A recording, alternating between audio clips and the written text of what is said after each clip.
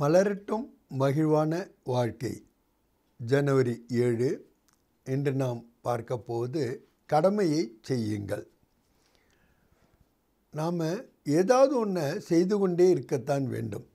ஏன்னா ஒரு காரியத்தை செய்யாமல் செயல்களை செய்யாமல் நம்மளால் வாழவே முடியாது.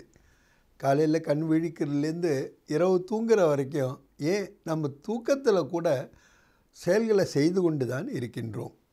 ஆனால் கீதை நமக்கு என்ன கூறுகின்றது என்றால் கடமையை செய்யுங்கள். அதோடு நிறுத்தலை பலனை எதிர்பார்க்காதீர்கள் என்று. ஆனால் பலனை நாம் எதிர்பார்க்காம எந்த செயலையுமே செய்ய முடியாதல்லவா? நடைமுறை வாழ்க்கையில் நாம் பார்க்குறோம் எதை செய்தாலும் சரி அதற்கு முன்னால் அதற்கான பலனை எதிர்பார்த்து தான் செய்கின்றோம். அதாவது விருப்பமின்றி நாம் செயல் ஆற்றுவதே கிடையாது. அப்படி இருக்கும்போது சாத்தியமற்ற இந்த கூற்று எதனால் கூறப்பட்டது கூறப்படுகின்றது? அதுவும் அர்ஜுனனுக்கு கொடுக்கப்படுகின்ற முக்கியமான செய்தியே இதுதான். செய்கிறத செய்து கொண்டே இருக்க வேண்டும். ஏனென்றால் எந்த ஒரு செயலும் வீணாக ஆவதில்லை. ஆனாலும் எப்போ நம்ம எதிர்பார்க்கின்றோமோ அப்போ தான் நம்ம ஏமாற்றத்தை அடைகின்றோம். ஏனென்றால் நாம் அளவுக்கு அதிகமாக எதிர்பார்க்கின்றோம். செய்கிறது பத்து பர்சண்ட்டாக இருக்கும் எதிர்பார்க்குறது தொண்ணூறு பர்சண்ட்டாக இருக்கும்.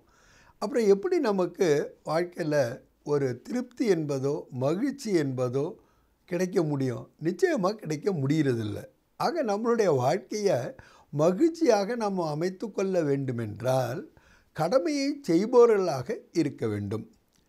இன்றைக்கி உலகத்தில் நாம் என்ன பார்க்குறோம் அப்படின்னா கடமையை பெற்றுக்கொள்வதற்கு பதிலாக அதாவது ரெஸ்பான்சிபிலிட்டியை எடுத்துக்கொள்வதற்கு பதிலாக ஒவ்வொருவரும் கூட தன்னுடைய ரைட்ஸ் அண்ட் டிமாண்ட்ஸ் இதைத்தான் கேட்டுக்கொண்டே இருக்கின்றார்கள். எனக்கு உரிமை இருக்கின்றது. அது எதுவானாலும் சரி அதற்கு நீங்கள் ஒருபொழுதும் தடை விதிக்கக்கூடாது என்று நினைக்கின்றார்கள். ஆனால் எந்த அளவுக்கு நாம் உரிமையை கோருகின்றோமோ அந்த அளவுக்கு அதற்கான ரெஸ்பான்சிபிலிட்டி பொறுப்பை எடுத்துக்கொள்கின்றோமா என்றால் நிச்சயமாக இல்லை. ஆகவே வாழ்க்கையிலே நாம் நிரந்தரமான ஒரு அமைதியை நிதானத்தை பெற வேண்டுமென்றால் கடமையை செய்ய வேண்டும். கடமையை செய்வதற்கு கூடவே நாம் பலனை எதிர்பார்க்காத ஒரு மனநிலை உடையவர்களாக இருந்தே ஆக வேண்டும். மனிதனாக பிறந்த நாம் எந்த ஒரு செயலும் செய்யாமல் அதாவது முயற்சியும் செய்யாமல் எந்த ஒரு பலனையுமே அடைய முடியாது. ஆகவே தான் முயற்சி திருவினையாக்கும் என்று கூறப்பட்டிருக்கின்றது. எத்தனையோ விஷயங்களை நாம் வாழ்க்கையில் கேட்டுக்கொண்டு தான் இருக்கின்றோம் கற்றுக்கொண்டு தான் இருக்கின்றோம் புரிந்து கொண்டு தான் இருக்கின்றோம். ஆனாலும் கூட நாம் ஒரு நமது வாழ்க்கையை பொருளுடைய வாழ்க்கையாக அமைத்து கொள்ள வேண்டுமென்றால் கடமையை செவ்வனே செய்ய வேண்டும். ஏனென்றால் எந்த ஒரு காரியத்தையும் காலம் கடந்து செய்தாலோ அல்லது காலத்திற்கு முன்னதாக செய்தாலோ அதனுடைய பலனை நாம் நிறைவாக பெற முடியாது. எப்பொழுது நம்மிடம் குறைவாக பலன் ஆகின்றதோ பிராப்தி ஆகின்றதோ அப்பொழுது நாம் வருத்தப்படுகின்றோம் கவலைப்படுகின்றோம் அல்லது மன நிம்மதியை கூட இழந்து விடுகின்றோம். நான் நினைக்கவே இல்லை. ஏன் எனக்கு இப்படியே நடக்கின்றது? நான் எவ்வளவோ முயற்சி செய்கின்றேன். தலை கீழே நின்று பார்க்குறேன். ஆனாலும் கூட எனக்கு கிடைக்க மாட்டேங்குது. அப்படிங்கிற மன உணர்வில் நாம் பல முறை பெறுகின்றோம். நாம் செய்கிற முயற்சி சரியானதாக காலத்திற்கு ஏற்ப இருக்குமானால் அது நிச்சயமாக அதனுடைய பலனை நமக்கு அளித்தே தீரும். இப்போ நடக்குகின்ற காலத்தை பற்றி உங்களுக்கு தெரியுமா? இதுதான் புருஷோத்தம சங்கமயுகம் என்று சொல்லப்படுகின்ற நேரம். இப்போ இறைவன் தன்னுடைய பறக்காய பிரவேசம் மூலமாக கீதை ஞானத்தை நமக்கு அளித்து கொண்டிருக்கின்றார். அந்த கீதை ஞானத்தின் மூலமாக புரிதல்களின் மூலமாக நாம் செயல்களை செய்து கொண்டும் இருக்கின்றோம். ஆனால் எந்த ஒரு சுமைகளும் இன்றி. காலையில் எழுந்த உடனே மனசில் என்ன தோணுது தெரியுமா? இன்றைக்கி இதெல்லாம் செய்யணுமே இவ்வளவு செய்யணுமே எனக்கு நேரமும் பத்த மாட்டேங்குது இவங்களை நான் திருப்திப்படுத்த முடியல அவங்க சொல்கிறத நான் கேட்க முடியல நான் சொல்கிறத யாரும் கேட்குறது இல்லை. என் சூழ்நிலையே எனக்கு சரியாக அமைய மாட்டேங்குது. இப்படிப்பட்ட சூழல்களில் நான் என்ன தான் செய்ய போகிறேன்னு தெரியல. நாளுக்கு நாள் டிமாண்ட்ஸ் அதிகரித்து கொண்டே இருக்கின்றன. அதாவது விருப்பங்கள் ஆசைகள் அந்த ஆசைகள் பேராசைகளாக ஆகிக்கொண்டே இருக்கின்றன. எதை மாற்ற முடியாதோ அதை மாற்றுவதற்கான முயற்சியில் ஈடுபடுகின்றோம். எது நடக்க முடியாததோ எது இயலாததோ அதை பற்றிய சிந்தனைகளை செய்கின்றோம். இந்த சிந்தனை போக்கு தான் நமக்கு ஒரு டென்ஷனையும் கொண்டு வருகின்றது. உதாரணமாக கடந்த காலத்தை யாராலுமே மாற்ற முடியாது.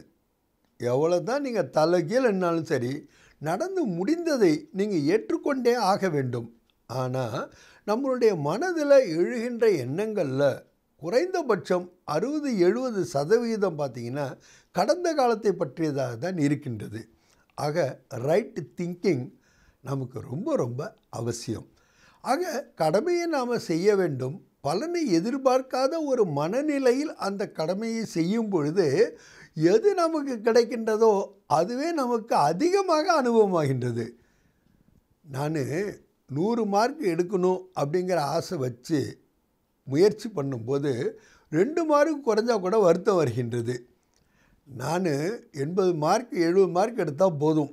அந்த அளவுக்கு என்னுடைய முயற்சி இருந்தது என்று நான் நினைத்தேன். ஆனால் எனக்கு ஒரு ரெண்டு பர்சன்ட் கூட கிடைச்சா கூட I am getting more happiness சில நேரம் பார்த்தீங்கன்னாக்கா ஜஸ்ட்டு பாஸ் ஆன ஸ்டூடெண்ட்ஸு ரொம்ப மகிழ்ச்சியாக இருப்பாங்க. அந்த ஃபஸ்ட்டு டிவிஷனில் வர்றவங்க ஆனால் ஃபஸ்ட்டு நம்பரில் வராமல் இரண்டாவது மூன்றாவது நம்பரில் வர்றவங்க கூட ரொம்ப வருத்தத்தில் கவலையில் இருப்பாங்க. ஏன் வீட்டில் அடி கூட வாங்குவாங்க. ஏன் இவ்வளோ மார்க் எடுத்த நீ ஏன் ஃபஸ்ட்டு வரலை? அப்படின்னு சொல்லி தான் அவங்கள கேட்பாங்க. ஏன்னா ஜஸ்ட்டு பாஸ் ஆனவன் நினச்சிக்கிட்டு இருந்திருப்பான். நம்ம எங்கே பாஸ் ஆக போகிறோம் அப்படின்னு சொல்லிட்டு. அதனால் மகிழ்ச்சியாக நம்மை நாம் வைத்து கொள்வது நாம் என்ன பெறுகின்றோம் அல்லது எவ்வளவு பெறுகின்றோம் என்பதை பொறுத்து அல்ல. அது நமதனுடைய மனதின் கண்ணோட்டமாகும் ஆட்டிடியூடாகும் ஆக நம்மளுடைய ஆட்டிடியூடை நாம் சரி செய்து கொள்ளும் பொழுது நாம் நம்மளுடைய செயல்களை செய்து கொண்டிருந்தாலும் பலன்களை எதிர்பார்க்காத செயல்களை நம்மளால் செய்ய முடியும். அதனால்தான் கடமையை செய் பலனை எதிர்பாராதே என்று இறைவன் கூறுகின்றார். ஏன்னா அர்ஜுனனுடைய பிரச்சனையே அவனுக்கு என்ன அப்படின்னா என்னுடைய உறவினர்கள் இவர்களை நான் கொன்றுவிட்டு அப்படிப்பட்ட ஒரு ராஜ்யத்தை நான் அடைய வேண்டியது அவசியம்தானா? அவனுக்கு இது கூறப்படுகின்றது ஏற்கனவே அனைவருமே இறந்து விட்டார்கள் என்று. எங்க? எல்லாருமே நமக்கு முன்னாடி உயிரோடு இருக்கிறாங்க. ஆனால் எல்லாமே இறந்து விட்டார்கள் என்று நீ நினை அதுதான் சத்தியம் என்று கூறினால் அது எப்படி சாத்தியமாகும்? மகாபாரதத்தில் எல்லா கதாபாத்திரங்களும் பார்த்திங்கன்னா அழுவாங்க கஷ்டப்படுவாங்க துக்கப்படுவாங்க. இன்க்ளூடிங் ராவணனை மற்றவங்களாக இருந்தாலும் கூட. ஆனால் இந்த கிருஷ்ணர் மட்டும் பார்த்திங்கன்னா எப்பொழுதுமே ஒரு புன் சிரிப்போட தான் இருப்பார். தேரோற்ற ஒரு காட்சி அவர் கொடுத்தாலும் கூட கர்மங்களிலிருந்து விடுபட்டவராக இருக்கின்றார். அதுக்கு முக்கியமான காரணம் என்ன தெரியுமா? நிதர்சனமான உண்மைகளை புரிந்து கொள்பவராக இருக்கின்றார். ஆகவே தான் நாம் கூட காலையிலிருந்து இரவு வரை நமது கடமைகளை சரியாகவும் செய்ய வேண்டும் சிறப்பாகவும் செய்ய வேண்டும். நமது மனநிலையில் எந்த ஒரு எதிர்பார்ப்புமின்றி அதாவது பலனை எதிர்பார்க்காமல் செய்கின்ற பயிற்சியையும் முயற்சியையும் நிச்சயமாக செய்வோமாக. நான் எனது இந்த நாடக பாத்திரத்தில் எனது கடமைகளை முழுமையாக நிறைவாக செய்து கொண்டே இருக்கின்றேன். பலனை எதிர்பார்க்காமல் அதாவது எதிர்பார்ப்புகளை தவிர்த்து ஏமாற்றங்களையும் நான் தவிர்க்கின்றேன்.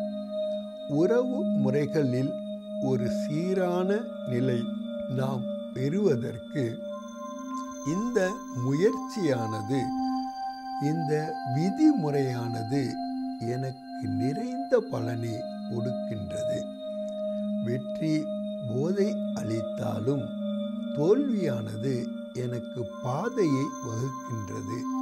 ஆகவே நான் எப்பொழுதும் எனது ரைட்ஸ் கேட்பதற்கு பதிலாக அந்த பொறுப்பை ஏற்றுக்கொள்ளுகின்ற மனப்பாங்கின் காரணமாக நான் செய்கின்ற அனைத்திற்கும் பன்மடங்கு அதிகமான பலன்களை பெறுகின்ற அனுபவத்தை செய்து கொண்டே இருக்கின்றேன். ஓம்